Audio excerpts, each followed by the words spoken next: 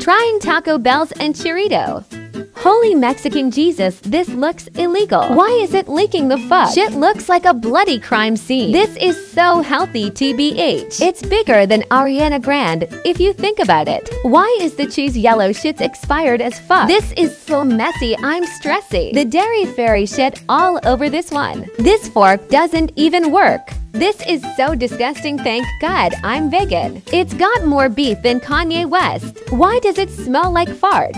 An enchilada is basically a soggy burrito. What a ripoff. Let's try it. That is way too spicy for me. Three tenths just an overpriced soggy burrito.